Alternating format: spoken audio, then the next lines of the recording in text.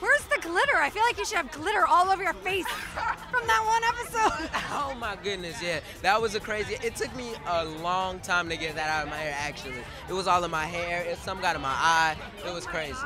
Yes, but it was worth it. That's dedication for acting, right? You know what I'm saying? Anything to bring the funny, you know what I mean? I feel like your character gets into a bit of trouble from episode to episode. What's been your favorite stunt or event to happen to? My favorite thing, it has to be me eating the chicken wings. I mean, I, that was my favorite part so far because I just love chicken wings anyway, so that had to be my favorite thing to do.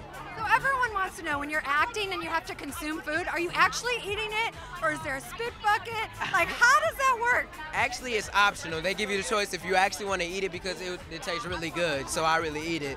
But anyway, they give you an option. It's if you want to spit it out, you can spit it out, or if you really want to eat it, you can eat it. So. Mhm. Tricks of the trade, those are the secrets. So what's coming up on Ant Farm? What can we look forward to? Oh, you can look forward to some more funny, uh, just more crazy things. I mean, the writers are just crazy, so you can look for more crazy things happening. You know what I mean? So, yeah. What's that? Who's he? Oh my goodness.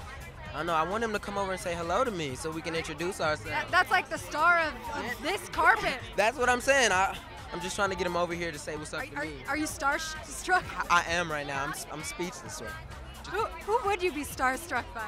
Um, who would? That is a good question. I, I love Cuba Gooding Jr.'s work, so I think if I met Cuba Gooding Jr., I would just be speechless. I wouldn't know what to do. So I have to be Cuba Gooding Jr. yeah. And in this movie, the guys go on an adventure. What's a recent adventure you went on, or one that you're looking forward to? Um, a recent adventure that I am that. Hmm, let me tell you. I want to tell you something about my past. I actually, uh, a crazy thing. Actually, you want to know something funny? Well, I'd love to know something funny. You know where I'm going.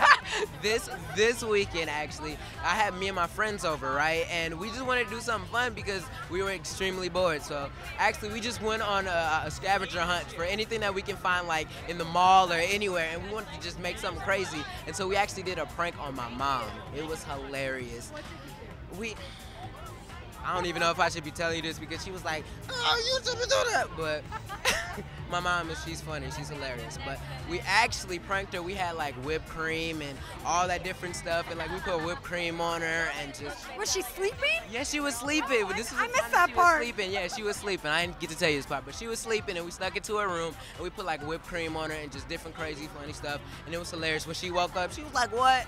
She was just yelling and chasing us all around the house. It was hilarious. yes, ma'am. Well, thanks so much. It was nice Oh, to meet no you. problem. You have Thank fun so in there. much. Yes, ma'am. Thank you.